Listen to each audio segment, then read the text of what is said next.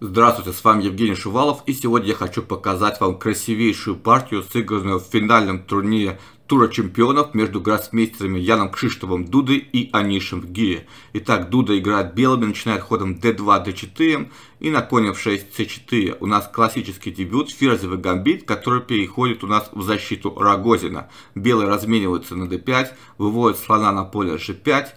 И эта позиция хорошо известна в дебютном теории. Здесь я сделаю небольшое отступление от нашей текущей партии и покажу предыдущую партию между теми же соперниками, которая была сыграна буквально несколько минут ранее. Там Анишги сделал ход h7, h6, прогнал слона, потом короткую рокировку, вывел слона на поле f5 и потом коня на поле d7. Кажется, что черные абсолютно логично завершили развитие, все их фигуры активны. Белые вывели ферзя на b3, черные защитили слона ферзем, последовала короткая рокировка, ход c6, а3, размен слона на коня и b7, b5. Вот здесь черные не испытывают серьезных проблем, однако Дуда показал очень интересный план. Он подорвал пешку ходом а4 и на ход а6 применил новую идею ладья а3. Согласитесь, не каждый сделает такой ход ладьей.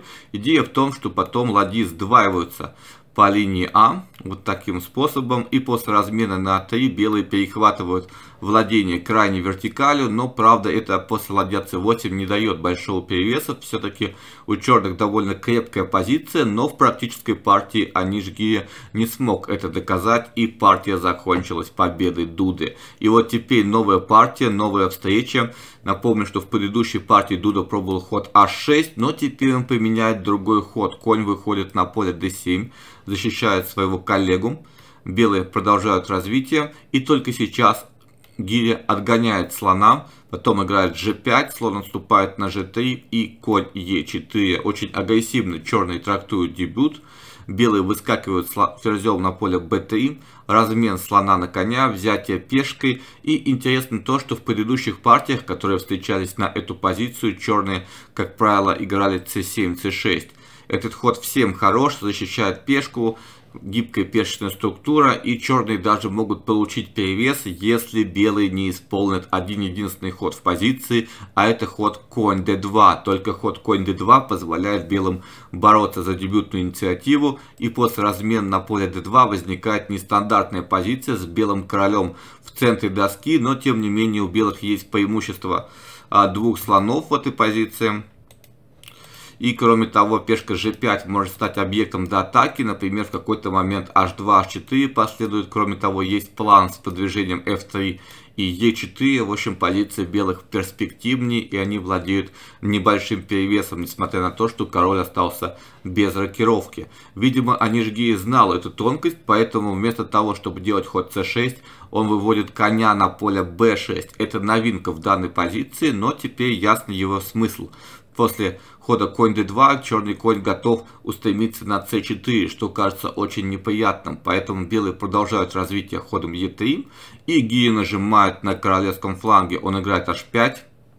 Конечно, теперь черные хотят сыграть h4 и попросту поймать белого слона, Воспрепятствовать этому можно, сыграв h2, h4 самостоятельно, но тогда черные разменивают коня на слона, портят белым структуру, после чего нападают на пешку g3, заставляя сделать ход королем. Ну и здесь точ точнее всего даже не задвигать пешку вперед, а просто разменяться на h4, после чего вывести на g4 слона. И получается следующая позиция, где черные готовы сделать длинную рокировку и в принципе не испытывают никаких проблем. Но Дуда идет на обострение позиции. Вместо того, чтобы спасать собственного слона, он делает ход c3, c4, подрывая черный центр.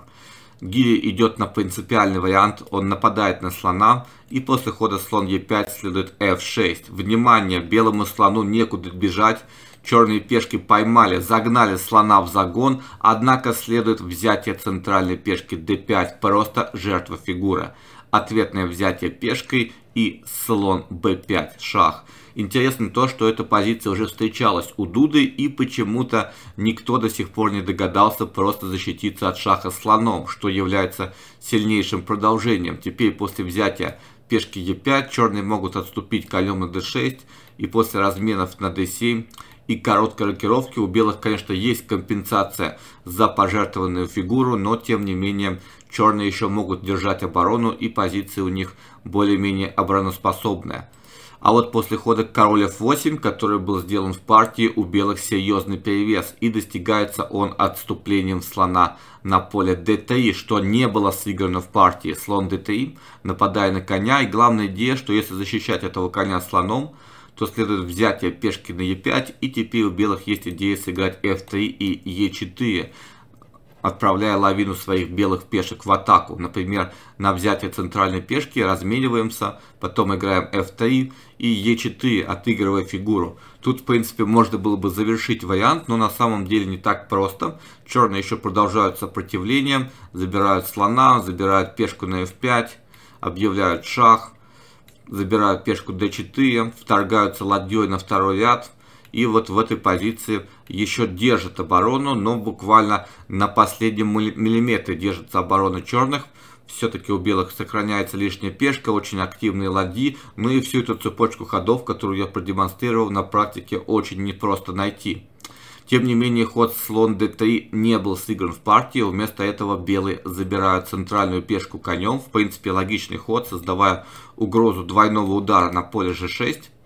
Но этот ход, как ни странно, выпускает перевес. И, собственно, самое интересное то, что это уже встречалось в практике Яна Кшиштова Дуды. Так он играл против гроссмейстера Ю Янги. И там черные нашли правильный ход. Они побили центральную пешку. Последовал шах на g6. Король отступил. Взятие ладьи. Размен ферзей. Взятие.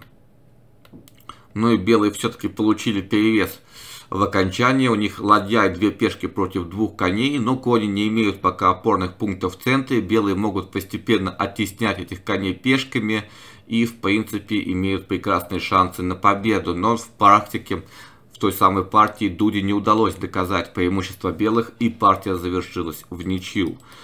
Тем не менее, взятие ферзем на поле d5 было бы сильнейшим продолжением. Вместо этого Гия делает ход король g7, пытаясь увести короля в безопасную зону, но это оказывается решающим промедлением. Теперь уже следует ход слон d3, Конь вынужден отступить на d6, и получается, что белые сохранили важнейшую пешку на d5, и после короткой рокировки готовы обрушить свою пешечную лавину на позицию черных.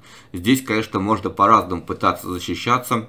Например, ход слон f5 можно рассмотреть, но после слон f5 следует размен, и белые пешки приходят в движение. Дело в том, что нельзя бить пешку d4 из захода ферзь d3, и коню просто некуда отступать. Из-под боя, белые выигрывают. А если вместо взятия пешки отступить конем на поле d6, то белые начинают прямую атаку ходом f2, f4, даже не пытаются они защитить свои пешки, отдают пешку d4, потом нападают на коня, отдают еще и пешку d5, шах ладьей, король отступает на g8, ну и здесь выигрывает красивый ход ладья c5, подставляя ладью под бой. Теперь, если ферзь отступает, то просто теряется лошадь на e4, а после взятия ладьи следует красивый мат в несколько ходов, короля выгоняют в чисто поле, забираем ладью и просто ставим мат. Так что развивать слона на поле f5 не очень хорошо. Движки рекомендуют ход слон d7, хоть как-то продолжая развитие, но согласитесь, ход такой не смотрится. Кроме того, после хода f4 надо найти еще кучу точных ходов за черных, чтобы не получить матовую атаку, то есть после взятия. Белые забирают ладьей, в каких-то вариантах грозит подключение второй ладьи, поэтому черные должны размениваться по линии f, взятие. Здесь необходимо бить королем, чтобы сохранять защиту пешки на c7 шах, король отступает на g7 и очень хитрый ход со стороны белых это ход ферзь c2. На первый взгляд кажется, что ход не создает каких-то прямых угроз, но на самом деле это не так. Если неаккуратно побить центральную пешку конем, то последует слон c4, нападая на коня и грозя вторжением ферзем на поле g6. И белые немедленно выигрывают после этого. Ну а если, например, сыграть ладья c8, продолжая хоть как-то развитие, защищая пешку c7, то следует еще более фантастический слон b5 под два боя, но с той же идеей перебросить ферзя на поле g6, и там этот ферзь создает матовую угрозу черному королю. Так что ферзь c2 действительно очень коварный ход, и черный здесь держится только выбрасывая своего ферзя на поле g5, отдает они пешку c7, потом забирают на e3 шахом и после отхода короля возвращают ферзя на поле а6, защищая таким способом коня. И вот как ни странно, в этой позиции, казалось бы, что здесь и слон висит, но тем не менее на взятие там, видимо, заготовлен ход ладья c8, и неожиданно выигрывают черные, потому что у ферзя нету полей для отступления. В общем, в этой позиции черные держатся, и пробить их оборону не получается. Но, тем не менее, не было сыгран ход слон d7, все-таки партия игралась в быстрые шахматы, и они жги не нашел ничего лучшего, чем сыграть g4, попытаться организовать контратаку на позицию белого короля, но, к сожалению, ход g4 никак не помогает защите. Белые играют f2, f4 и начинают движение своих пешек. Гили пока подтягивает ладью, пешки белых пришли в движение, черный играет g3, пытаясь хоть какую-то контр-игру создать, но Дуда просто не обращает на это никакого внимания. Он на себе тащит свои пешки вперед, черный выбрасывает ферзя в атаку, взятие на c7 шахом, король отступает на g8 и просто слон b1, уводя слона подальше и открывает для ферзя простор по третьей вертикали. Ну что ж, последовал ход ферзь d2, опасный ход, нападает на пешку d4, однако оказывается, что белые могут просто проигнорировать эту угрозу и сыграть ферзь f3, грозя подключением ферзя к атаке через поле g4, и черные просто не могут позволить себе съесть коня, потому что ферзь g4 шах, бьет h4 и мат на поле h7, поэтому последовал слом в f5, но это уже паника. Это уже предсмертные конвульсии со стороны Аниша, взятие слоном, потом взятие на d4, король отступает, опять нельзя бить коня из-за матов пару ходов, последовал ход ладья c8, черный пытается хоть как-то разменять активную фигуру белых, но именно в этой позиции Ян Кшиштоф Дуда напрягся и нашел форсированный выигрыш. Предлагаю вам всем попробовать найти это решение, по сути очень красивая матовая комбинация. Ладья g7 шах, белые жертвуют свою сильнейшую фигуру, завлекая черного короля под шах пешкой. Теперь король должен отступать вперед, иначе белый ферзь выйдет на поле h5, допустить этого никак нельзя. Поэтому король отступает на поле h6, препятствуя активизации белого ферзя, но следует конь g4 шах. Король идет на g5. И следует красивейший финал. Ферзь f5 шах, прямо под бой черного коня. Взятие ферзя взятие ладьей. Теперь, если король забирает коня на g4, то следует очень курьезный мат пешкой h2, h3, и королю некуда деваться, слон с поля b1 защищает ладью, и это мат. Поэтому король отступает на поле g6, но теперь ладья e5, шах от слона.